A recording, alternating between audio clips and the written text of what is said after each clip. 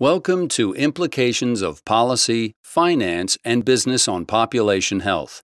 This is Lecture C. This lecture will cover the innovations occurring at the state level and among employers. The objectives for this lecture of Implications of Policy, Finance, and Business on Population Health are to discuss and interpret the key financial drivers in the U.S. healthcare system and their implications discuss key state innovations and employer responses to the key financial drivers and federal policies. One of the unique features of the American political structure is the freedom of individual states to implement innovative domestic policies like health care. As we discussed in the history of value based payment, in 2006, Massachusetts implemented individual health insurance mandates and a health insurance exchange that has resulted in health insurance coverage for 96.3% of Massachusetts residents.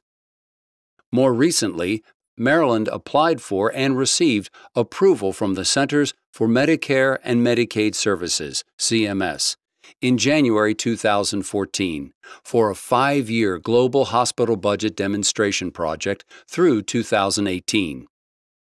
Maryland is unique among the 50 states in that it had previously obtained a waiver from CMS for an all payer system. An all payer system is one in which all payers, Medicare, Medicaid, and private insurers all pay the same rate for hospital based service. In the other 49 states, these different payers all pay different rates. Typically, Medicaid pays the lowest, Medicare next lowest, and the private insurers pay the highest rates, which are negotiated separately based on the negotiating power of the payer. As a result, there are a myriad of rates at the state level, and the net effect is private insurance usually cross subsidizes Medicaid and Medicare rates. In Maryland, all the payers pay the same rate for all hospital services, so that there are no cross subsidies. The novel aspect of this new program is that there is a global budget for hospital revenue, so that hospital revenues are capped in any given year, regardless of volume. If hospitals provide less or more services than last year, they still are paid the same global amount.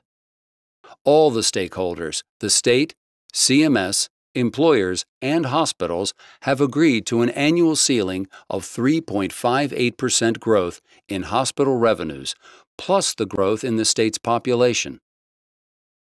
In return, Maryland guaranteed to CMS savings of a minimum of $330 million on all Maryland Medicare recipients over the course of the waiver, regardless of whether they live in Maryland or, quote, snowbird, unquote, to Florida. The reason that CMS wanted the savings is that they had been paying higher rates in Maryland than in any other state, because they were not being cross subsidized by the private insurers. From the point of view of the state, the net effect of this provision is that it places all Maryland Medicare recipients into a giant virtual ACO with a global target. Because, under the prior waiver, Maryland hospitals were paid strictly fee for service FFS at a regulated rate, there was an incentive to maintain volume. As a result, historically, the rates of readmissions and hospital acquired conditions were significantly higher in Maryland than in other states. To address these issues, the waiver includes reducing the rate of Medicare readmissions to the national average and reducing hospital acquired conditions by 30% over five years, which will greatly contribute to the achievement of the $330 million in savings promised to CMS. Under a global budget, the incentives are to reduce volume, and the waiver puts into place monitoring and reporting measures to ensure that the hospitals are delivering the most appropriate care. There are measurements for patient experience of care, for improvement of population health, and for monitoring other health expenditures during the waiver. This extensive evaluation process by CMS will occur throughout the five years of the demonstration project.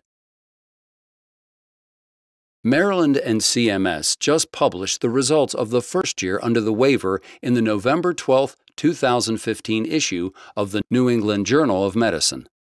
Hospital costs actually only went up 1.47% versus 3.5%. Medicare has already saved $116 million out of the $330 million promised, and hospital acquired conditions have dropped by 26.3%. Based on the promise of this model, CMS announced on September 16, 2015, that other states are interested in implementing this model. What gave the policymakers in Maryland and CMS confidence that this global budget system might work was the experience in rural Maryland. There were pilot demonstrations of the global hospital budget models in rural Maryland that took place over several years before the statewide waiver was granted in 2014. We have two examples of the innovative ways that hospitals in rural Maryland reacted to the incentives to provide value instead of volume under a global budget model. One was at the Carroll Hospital, located in Westminster, Maryland. They reallocated monies from their global budget to train police officers to triage behavioral health issues to the appropriate behavioral health provider, instead of first sending them unnecessarily to the emergency room at Carroll Hospital. Historically, if Carroll Hospital spent monies to train these police officers, they would not only be reimbursed for the training, but they would also lose the revenue from the emergency room, ER, a quote, lose lose unquote proposition. Now, under the global budget, they had the monies to invest in training and not be penalized if they reduced unnecessary ER admissions. This is a great example of aligning the incentives to reward value and provide appropriate care in the most appropriate setting. The second example is at the Meritus Medical Center, located in Hagerstown, Maryland. The hospital historically had identified pediatric asthma as a significant medical problem in Hagerstown, as it is in many communities. Children from Hagerstown would routinely show up in the emergency room with severe acute asthmatic attacks, and not infrequently would require hospitalization. With global budgeting and the guarantee of revenue, independent of volume, they found it in their financial interest to fund a school based clinic staffed by a nurse practitioner. The nurse not only educates asthmatic children in how to remain asthma free, but also can intervene earlier in a child's asthmatic attack to avoid unnecessary trips to the ER and admissions for acute asthma. As you all know, it is much better for the child and the parents to keep children out of the ER and hospital. This is another great example of realigning the incentives to deliver the triple aim better care, lower costs, and better patient experience.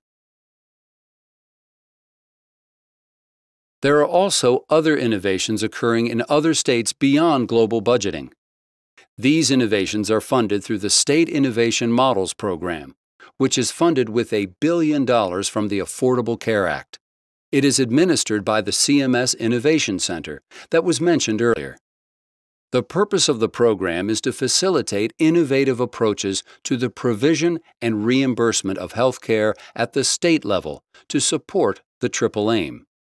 It is meant to build upon the freedom to innovate at the local level built into our system of state government.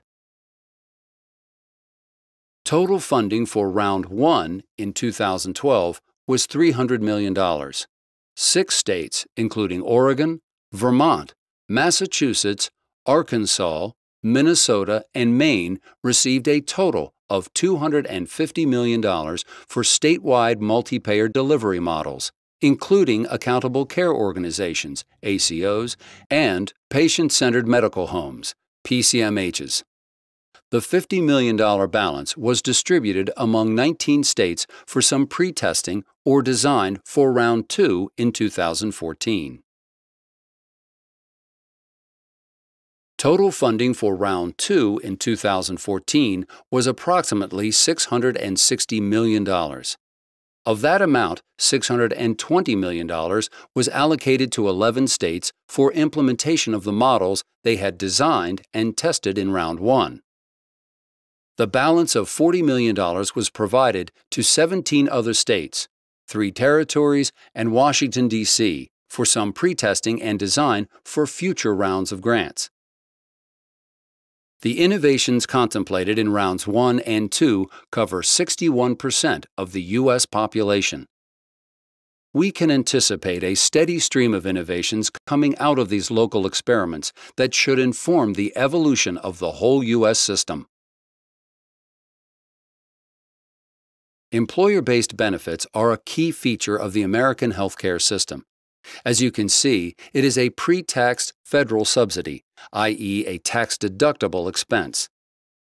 Monies that employers spend on healthcare can be deducted as a business expense and do not count against taxable income for the organization. Its origins date back to World War II as an artifact of wage and price controls that were in place then. As you might imagine, there was a shortage of labor for the war effort that drove up wages. To ensure that there was not excessive inflation at home during the war, a strict limit was imposed on how much wages could increase. However, employers still had to compete for scarce labor. They lobbied to increase non-wage benefits, like health insurance, so that they could be more competitive in the market for labor. Since healthcare was relatively inexpensive then, they were successful in convincing the federal government that the addition of this benefit would not cause undue wage inflation. They based their insurance on an existing FFS health insurance model popularized by the Blue Cross and Blue Shield plans. As you can see from this slide, the inflationary impact of this benefit turned out not to be trivial. If these commodities inflated at the same rate as healthcare costs from 1945 to 2009, a dozen eggs would cost $55, a gallon of milk $48, and a dozen oranges $134. Another way to look at it is that salaries between 1999 and 2009 went up 38%, while healthcare costs went up 131%. Since wages and benefits are interchangeable financially from the employer perspective, the net effect is that health benefits costs crowd out wage increases to workers. As a result, it is in the interest of employers and workers to reduce healthcare costs. Disease management was an industry response to meet employer demand to rein in the kinds of increases in healthcare expenses noted in the previous slide. These companies are principally private, for-profit companies that arose to help employers better manage the population of patients with two or more chronic conditions. This population accounts for 86% of the healthcare spending. Another common rule of thumb is that 5% of any given population accounts for approximately 50% of the costs. The promise of disease management companies was that by focusing on this population, they could help employers moderate that rate of healthcare inflation. Because of this promise and the rapid rise in healthcare costs, 59% of large employers who offered healthcare coverage in 2008 had contracted with one or more disease management companies to help manage these patients. Here are the classical elements of an employer-based disease management program.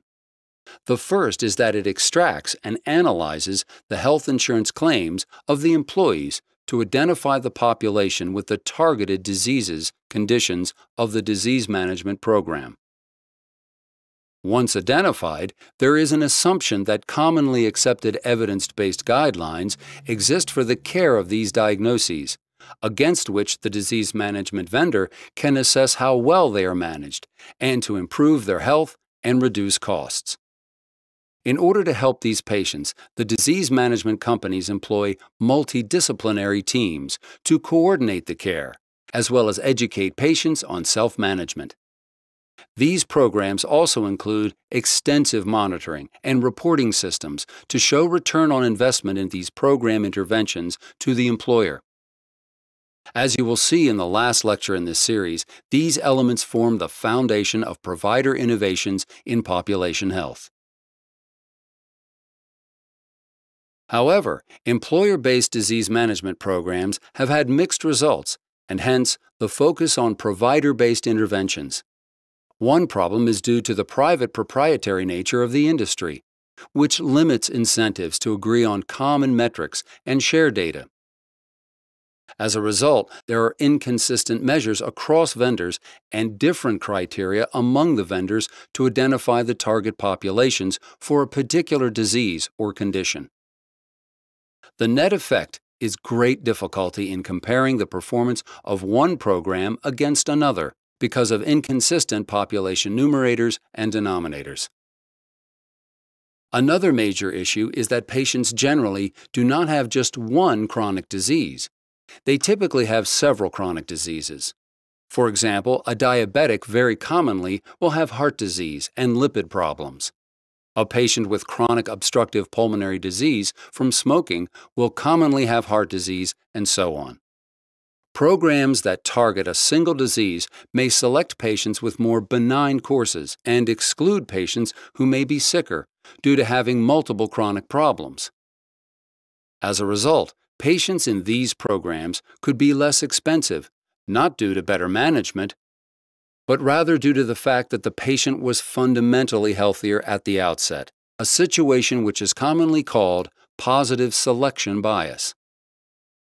Also, once a patient has multiple chronic diseases, there are no master guidelines that coordinate or trade off among the guidelines, so that a patient is confronted with multiple uncoordinated and sometimes conflicting guidelines to follow. A third major issue with disease management programs is the lack of coordination with primary care. Because these programs are standalone, quote, carve out, unquote, programs sponsored by employers and employ their own care coordination teams outside of the provider delivery systems, there are challenges in sharing information and coordinating care with the patient's primary care physicians and specialists. It increases the chances that the patient will receive inconsistent and uncoordinated guidance. Finally, to its credit, the disease management industry has been evolving to meet the changing demands of the marketplace. One can see the evolution from the changes in the name of the lobbying or interest group for the industry. It has gone from the Disease Management Alliance to the Care Continuum Alliance, and most recently to the Population Health Alliance. However, the downside of this evolution is the lack of consistent population health numerators and denominators to support creation of common metrics to evaluate objectively the performance of these programs. This concludes Lecture C of Implications of Policy, Finance, and Business on Population Health. In this lecture, we learned about state and employer initiatives in population health.